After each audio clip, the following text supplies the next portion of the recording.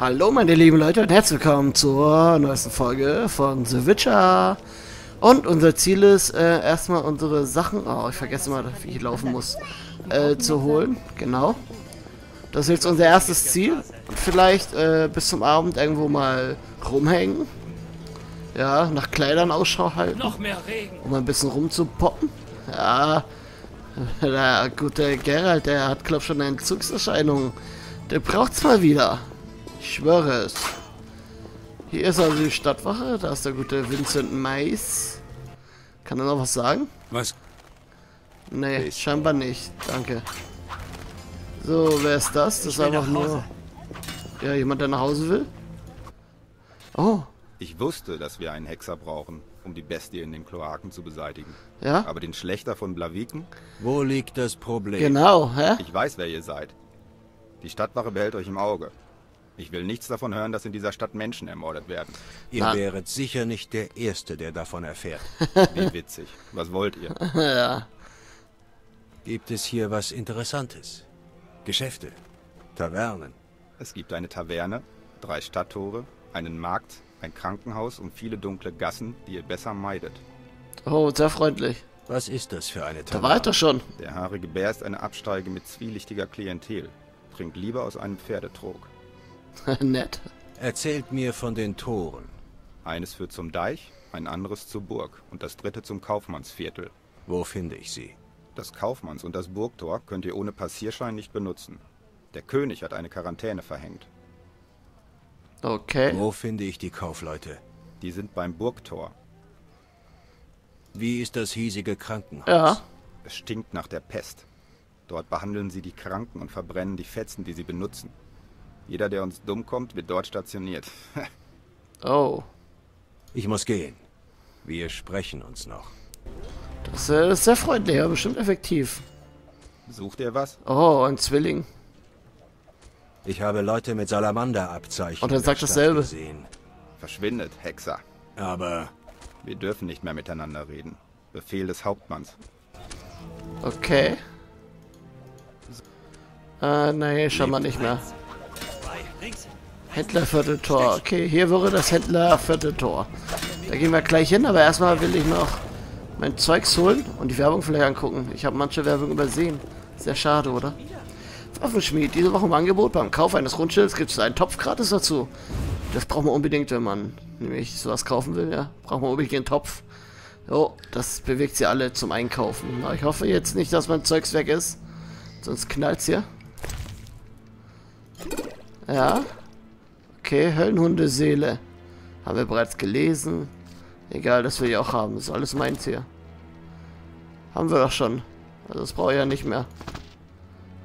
Auch so ein roter... Äh, ne, auch mit. Ja, dann hatten wir ja alles. Hallo ihr Gefängniswärter. Ich denke mal nicht, dass er noch was Neues sagt, oder? Äh, Adieu. nee. Okay. Ich will, und ich will ihm nicht nochmal Fistech geben. Will ja nicht hier dafür verantwortlich sein, dass er sich hier die Nase zu... Na, soll er sich lieber irgendwo anders raufstreichen. Nirgendwo gibt's was zu trinken in Ja. dieser Stadt. Und in den Elendsvierteln kann ein an Bier leicht das Leben kosten. Das Verbrechen nimmt Okay. Überhand und die Stadtwache gafft den Weibern hinterher. ja, die wissen schon wieso. Ja. Naja, sind ja auch nur menschliche Lebewesen. Das ist doch ganz verständlich. Den Weibern hinterher zu gucken. Wahrscheinlich. Was? Ich kann da nicht hin. Das ist ja gemein. Doch, das sei das Hitlerviertel. Okay, was wollten wir eigentlich noch machen? Gute Frage. Äh, Journal. Journal klicken, ja. Gehen wir auf Quests. Da, da, da, da, da. Pfifferpoker. Jetzt ist Zeit gegen andere Profis zu spielen, ja. Äh. Charaktere. Vivaldi, ach so. Okay. Die muss ich jetzt alle durchlesen oder was? Wesemir, Wessner, Vincent, Zoltan. Wesemir. Wesemir ist der älteste und erfahrenste Hexer, wahrscheinlich älter als Kermohan selbst. Er verbringt jeden Winter in der Festung und bricht im Frühling wie alle anderen auf, um durch die Welt zu ziehen.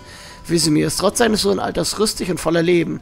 Viele Jüngere könnten ihn um seine Gesundheit beneiden. Er ist ein ausgezeichneter Fechter und hat mich im Schwertkampf ausgebildet. Er hat zahlreiche Hexer erzogen, mich eingeschlossen. Seine Schüler behandeln ihn wie ein Ziehvater. Leo war vermutlich der letzte Schüler des alten Hexers. Der Tod des jungen Mannes hat ihn tief erschüttert. Er gehörte zu den wenigen, die den Angriff auf Kermohan überlebten. Der Hass, den viele Leute Hexer empfinden, ist ihm bestens bewusst. Okay. Miko, Professor, Prostituierte, ja, bla bla. Haben wir jetzt nichts Neues erfahren. Über welchen... Vivaldi, ja. Habe ich Vivaldi noch nicht kennengelernt oder wieso? Hier steht nichts über einen Vivaldi. Ich würde gerne ihn hier vorfinden, aber haben wir leider noch nicht, entweder nicht gesehen oder... Aber hier habe ich da irgendwas mal markiert, hä? Ach so, ihn, sein Haus. Das Problem ist, ich kann mich leider nicht so gut besaufen wie er. Was sehr schade ist. Erstmal Hausdurch überlegen. Aber das können wir bestimmt ändern. Wir müssen nur skillen. Auf Saufen. Ja, das können wir. Wir können uns richtig hier die Hucke voll saufen und laufen lassen und so. Und dann werden wir richtig schad abgerocken. Aber was wir auch noch machen könnten, wäre... Nein. Kein Penner, äh, ich meine Bettler irgendwas geben. Die sind doof. Auch keine Nummmaschinen machen. Ah. Schurke. Ihr sucht was zu schnupfen. Beziehungen das Gasthaus. Aha, okay. Hier ging's hin. Nein. Ins Gasthaus. Yeah, man. Soll ich dafür fünf schlafen? Äh, ja, egal. Wo ist Vivaldi? Zoltan wird nichts sagen, oder? Wir haben doch Neues über ihn erfahren. Heck, Sultan Shivai. Schön, euch zu sehen. Oh ja, ihr seid also in die Stadt gekommen? Für einen Hexer gibt es viel Arbeit in Visima. sicherlich. so aus. Wie habt ihr es geschafft, reinzukommen? Garstige Anderlinge schaffen es immer in die Häuser der Menschen zu Haben wir noch nicht mit ihm Da ist geredet? was dran. Hört zu, Sultan. Ich muss mit euch reden. Ah, ja. Aha. Wer ist die Reichste? ist die reichste Person in Visimas Tempelbezirk? Früher hätte ich gesagt Vivaldi, aber jetzt ist der Clan Leuwarden euer Mann. Der Kerl scheißt Gold. Wow. Wunderschönes Bild. Danke. Ja, Ich habe bereits ein paar Pokerrunden gewonnen. Oh ja. herzlichen Glückwunsch. Ihr seid keine Jungfrau mehr. Jetzt Wow. könnt ihr richtig spielen. Vielen Dank. Wo finde ich diese berühmten Pokerspieler in Visima? Wo ihr alles andere Illegale findet. In der Nähe des haarigen Bären. Das könnte Okay. interessant werden. Seid nicht überrascht, wenn jemand nicht mit euch spielen will. Echte Meister ihres Fachs geben sich nur mit Profis ab. Und Okay. ein Profi ist? Einer, der mindestens vier Profispiele gewonnen hat. Gelingt euch das, seid ihr an jedem Spieltisch willkommen. Ich Okay. muss vier Profis besiegen. Kein Problem. Genau. Okay, okay, wartet. Oh, ich muss husten, wartet. Mann. Ah, Wisst ihr etwas über Vivaldis Bank? Ihr ja. gehört nur noch nominell Vivaldi. Wieso? Neue Besitzer, Menschen. Das erklärt so einiges. Oh ja. Wirklich? Dann hat Vivaldi doch gelogen. Wie geht es euch denn so? Habt ihr je ans Heiraten gedacht, Gerald? Nö. Mein Beruf ist einer Ehe nicht gerade zuträglich. Ja, Mann. Unfruchtbarkeit, Oh. hohes Risiko, ständig unterwegs. Es gibt nicht viele Frauen, die damit einverstanden wären. Ja. Wisst ihr, ich hab da so meine Zweifel. Fahrt fort. Ich hab sie einige Zeit nicht mehr gesehen und werde ein wenig eifersüchtig. Zwerginnen sind so begehrenswert. Noch nie eine gesehen, tut mir Ich leid. schlage vor, wir gehen ein Heben. Und wenn das nicht hilft, Macht ihr euch über mich lustig? das würde ich mir nie erlauben. Über so etwas macht man keine Witze. Tja, Ich hoffe, du hast keinen Dreck am Stecken. Habt ihr einen Moment Zeit? Was liegt euch auf dem Herzen? Ich warne euch. Ja. Es geht um philosophische Fragen. Der Sinn des Lebens. Wie? Das Böse, das Hexer bekämpfen, entspringt dem Chaos. Ja. Den Taten, die der Störung der Ordnung dienen. Denn wo sich das Böse ausbreitet, kann keine Ordnung etabliert werden. Statt dem Licht der Weisheit, dem Fünkchen der Hoffnung und leuchtender Wärme herrscht Dunkelheit vor. Oh, ja. Und in der Dunkelheit findet man nur Blut, Fangzähne, Klauen. Wie im Umland. Yep. Schön ausgedrückt, aber wie die junge Zerro in der Hochzeitsnacht zu König Friedank sagte, hat es auch einen praktischen Nutzen? Das Recht der Hexer, Oh in Gott. dieser Welt zu leben und zu arbeiten, ist aus dem Gleichgewicht geraten, da der Kampf zwischen Gut und Böse jetzt auf einem anderen Schlachtfeld und mit anderen Regeln ausgefochten wird. Das Böse ist nicht mehr chaotisch. Das Böse ist keine blinde, elementare Macht mehr, sondern befolgt Regeln im Einklang mit den Rechten, die ihm gewährt wurden. Ist natürlich es schwierig. funktioniert gemäß Abmachungen. Ja, schwieriger. Das, Das, nennt man Fortschritt. Oh, wirklich. Da wir mehr sind und länger leben, können wir einander zu Tausenden abschlachten. Ja, voll gut, oder? Fortschritt ist wie eine Herde Schweine. Sie bringt viele Vorteile mit sich, aber niemand darf sich wundern, dass alles voller Scheiße ist. Oh, schön Scheiße ausgedrückt. hin oder her. Hexer existieren, um Ungeheuer zu töten. Oh ja. Wie kann ich das, wenn die echten Ungeheuer sich hinter Idealen, dem Glauben oder dem Gesetz verschanzen? Gute Das Frage. größte Übel ist moralische Relativität. Sie fordert mehr Opfer als die Katriona-Pest und alle Drachen zusammen. Hexer wird man immer brauchen, ganz gleich, wohin uns diese Schweinebande auch führen mag. Wie schon der alte König Desmod sagte, als er nach Benutzung in seinen Nachttopf blickte, das rationale Bewusstsein kann das niemals wirklich erfassen. Wie geil.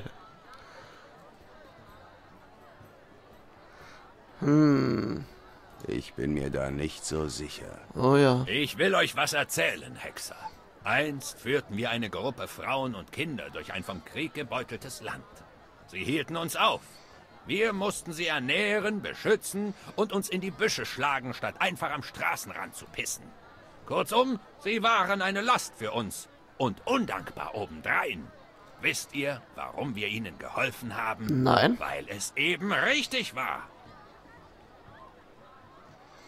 Das ist doch bedeutungslos. Genau. Macht mich nicht wütend. Mir rutscht leicht die Hand aus, wenn ich aufgewacht bin. Das war das Gute, von dem ihr hier gesprochen habt. Wenn ihr das Wort eines Gelehrten wollt, dann lest Visogott von Corvo. Hast du das? Schon gut. Ja, ja. Ich verstehe. Danke. Glaube ich. Ja? Können wir nochmal? Was? Ich warne. Der Sinn. Das Böse, Schön Ja. aus. das Recht. Das nennt man Fortschritt. Scheiß. Das Okay. korrekt. Danke, Sultan. Ja. Ich glaube, ich weiß, was du meinst. Na Also gut. sag ich ihm, die Papiere sind ein Vermögen Ist das nicht wie Waldi da? Nee, Monroe war da. Will er jetzt mit mir reden? Wie geht's? Wie steht's? Oh, wir haben schon mit ihm geredet, stimmt. Wir sehen uns später. Tut mir leid, wir sehen uns ja irgendwann mal. Schlag mich nicht, ihr Memmen. Er Schurkenspieler, den haben wir auch schon gewonnen, oder? Ich halte alle die Risiken ein. Silberschwert. Sagt euch das was? Ja. Warum fragt ihr? Ich habe keine Zeit für Schwätzchen. Nehmt's mir nicht übel. Woher habt ihr das Schwert? Ich habe es gewonnen von einem Gärtner. Wow. Finde ich ihn. Im Garten von Majorans Krankenhaus. Okay, den kenne ich. Also sag ich ihm, die Papiere sind Sehr gut. wert. Und? Was sagt er? Er will sie Ich doch dachte, hier sind, da ist die Kellnerin, ja, ja. Die will wirklich nicht mit uns shakern. Habt ihr euch Ja, auf bald. Ja kaum Bitch. Äh, ich meinte, nein, das habe ich nicht gesagt. ich doch nicht. So, wir gehen jetzt also zum Gärtner. Der hat hier schon mal was zu verheimlichen. Mein Wort hat immerhin das Schwert her. Ja. Das. Das ist nicht gut. Hallo, arme Frau. Wo ist mein Kind? Woher soll ich das denn wissen? Das ist dir davongerannt, das Kind. Weil du ihr wahrscheinlich auf die Nerven gingst. Du arme Frau. Ein bisschen Brot, der Herr. Ah, Da ist ein armer Junge. Oh, oh Gott. Der verfolgt mich wieder. Ich muss rennen. Oh Gott. Wo ist der Garten? Hier irgendwo, glaube ich. regnet es auch doch. Oh ja, es regnet. Das hast du schön erkannt. Wo ist der Gärtner? Da ist er. Ja, der Gärtner war es, wie immer, oder? Mörder. Hallo, Seht nur, wie sie wachsen. du ehemaliger Söldner? Silberne Schwerter interessieren mich mehr. Oh ja. Ah, ich wusste, dass einmal einer von euch kommen würde. Oh, du versteckst dein Gesicht auch noch. beim Würfelspiel verloren? Ich war ganz sicher, dass ich gewinnen würde. Hütet euch vor dem Trickser. Er spielt gut. Wirklich. Woher habt ihr dieses Schwert? Ja. Vor fünf Jahren fand bei Brenner eine Schlacht statt. Als sich der Staub legte, hatten unsere Männer die Nilfgaarder bezwungen. Seit jenem Tag bezeichnen wir uns nicht mehr als kaiserliche Provinz. Wirklich. Ihr habt dieses Schwert in der Schlacht erobert? Ja, es gehörte dem Hexer Köhn, ein Köhn. Prachtkerl von einer seltenen Art. Allerdings nicht sehr gesprächig. Wie Mhm. die meisten von uns. Ich gab ihm mein Schade. Wort, dass das Schwert den Weg zu einem anderen Hexer finden würde. Als er im Sterben lag, murmelte er etwas von Zähnen und Schicksal. Dann lachte er im Angesicht des eigenen Todes. Und ihr habt es im Spiel verloren. Einfach so, ja. Ich hielt es fünf Jahre lang versteckt. Die Hoffnung, dass ich je einem anderen Hexer begegnen würde, hatte ich dann aufgegeben. Fräulein Schani kannte Köhen ebenfalls. Sie arbeitet im Krankenhaus. Danke für eure Hilfe. Viel Okay. Glück auf euren Wegen. Äh, danke. Adieu. Adieu, Gärtner. Ich werde dich im Auge behalten.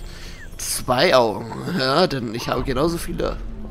Zwei Augen. Fragen wir doch die süße Shani mal, was sie weiß über Kö Köhen. Shani, was sehe ich irgendwo? Ihr werdet schon wieder. Shani, da ist sie ja. Hallo, Shani. Schnell. Ich kann sie nicht fragen. Schade. Dann vielleicht ein andermal. Wisst ihr, was das bedeutet? Was soll ich mit der Novizin? Hallo. Äh, Ich suche Genau. etwas und stieß auf einen Hinweis, den ich nicht verstehe. Es ist gut, dass ihr hergekommen seid. Die Weisheit der Göttin kennt keine Grenzen. na, ich hoffe das. In dem Hinweis steht, aber lest selbst. Drei Gesichter. Ja, das entspricht Melitele. Seht dort die Statue mit den drei Gesichtern der Göttin. Und das Opfer? Nur Dinge, die in der Natur geerntet wurden. Früchte, Pflanzen, Blumen. Melitele missfällt es, wenn in ihrem Namen getötet wird. Okay, es tut mir leid, ich war gerade etwas abgelenkt. Ich suche Es ist in dem drei Gesichter. Ja, das entspricht Melitele. und das Opfer. Nur Dinge, die in der Natur geerntet wurden. Okay. Das heißt, ich könnte Blümchen und so opfern für sie. Oder Hammelbein? Aha. Bleiben nur noch fünf. Okay, da war eins dieser Seffi-Dinger. Ach so, ja. Das habe ich auch ganz vergessen. Welch Zufall, dass ich das jetzt bekommen habe. Aber erraten quasi. Oh, Junge. Oh, shit. Was sagt man da ja? Oh, shit. Okay, was machen wir jetzt? Das, das steht da pechschwarz. Und wartet, was steht da? Annie? Annie? Bist du da? Wie seltsam. Annie? Verflucht. Wer ist pestschwarz? Ach, das hat wahrscheinlich pechschwarz hier. Ach, er, den kennen wir doch schon. Für- Nö. Nein, Ich mag den nicht. Gehen wir mal zum äh, Detektiv kurz. Vielleicht kann er mir ja weiterhelfen. Weil der Detektiv ist ja ein ganz gerissener. So. Der hat uns ja schon mal geholfen, ja. Und er ist eine wichtige Person. Hallo. Ich bin. Sie haben den Gefangenen ins Krankenhaus verlegt. Aber abends werde ich Umso hingehen. besser. Da werden weniger Wachen sein. Bewachen werden Sie ihn trotzdem. Ihr könntet in der Nacht mit ihnen reden. Ohne Zeugen. Weiß ich schon, ich danke. werde darüber nachdenken. Ja, weiß ich doch schon, Mann. Oh, das wollte ich nicht von dir wissen, eigentlich. Kann ich dich wieder mal ansprechen hier, Mann? Was sollte ich... Sprecht Ah. mit Vincent Mais, dem Hauptmann der Stadtwache, und verhört den Zeugen. Ah. Nee, nee, ist... In Ordnung. Okay, also mit ihm kann ich nicht mehr... Kann ich nicht am Feuer sitzen? Nee. Ah, du Mistkerl. Habe ich ja was vergessen? Ah, nur sowas. Okay, Leute. Das machen wir noch kurz, oder? Nee, nee. Also ich würde sagen, ich gehe jetzt schlafen. Und wir sehen uns dann in der nächsten Folge wieder. Äh, ich hoffe, ihr hattet Spaß bei Switcher. Wenn ja, ich würde mich über ein Däumchen nach oben freuen und auch sehr besonders über Kommentare. Und ich sage dann mal, bis zum nächsten Mal. Tschüsseli.